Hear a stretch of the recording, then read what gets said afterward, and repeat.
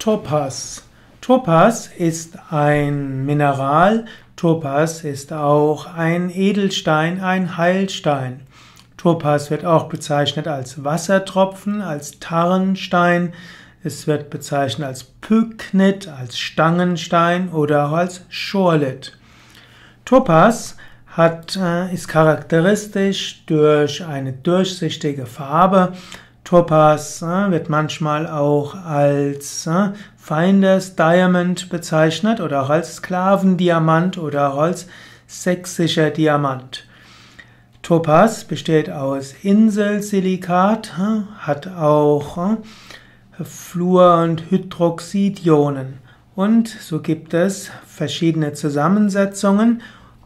Topaz ist jedenfalls ein durchsichtiger Stein, er kann leicht blau gefärbt werden oder auch andere Farben haben.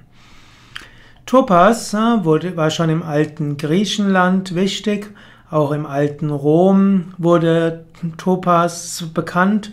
Plinius der Ältere äh, benannte Topas nach der Insel Topazos, die heutige St. Johannesinsel im Roten Meer. Das war dann Allerdings war es kein grüner Topas, den er beschrieb, sondern ein grüner Peridot. Der wurde lange, lange mit Topas verwechselt.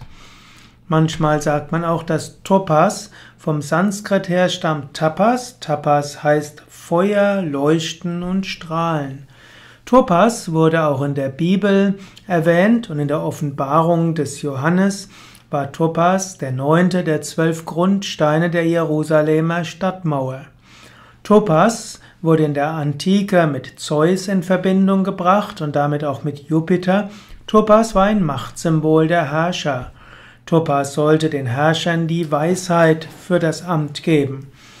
Auch Hildegard von Bingen beschrieb die Heilwirkungen des Topas. Sie empfahl Topas besonders bei Fieber und bei Beschwerden von Herz und Magen.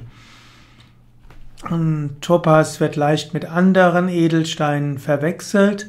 Es gab auch mal einen Topas, der für einen Diamanten gehalten wurde und 1740 in die portugiesische Krone eingearbeitet wurde.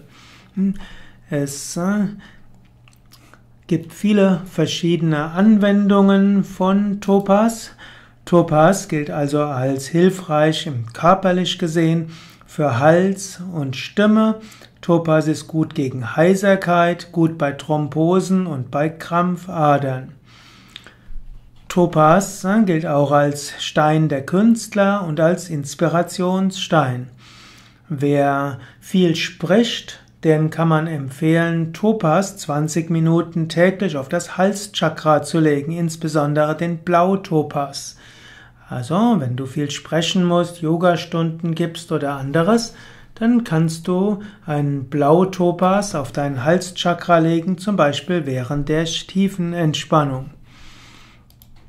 Topas äh, gilt auch als äh, Stein, der ein zufriedenstellendes, glückliches Gefühlsleben erzeugt.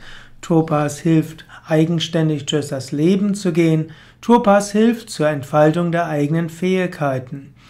Topas hilft auch, dass man aufrichtig ist und dass man Erfolg und Anerkennung bekommt.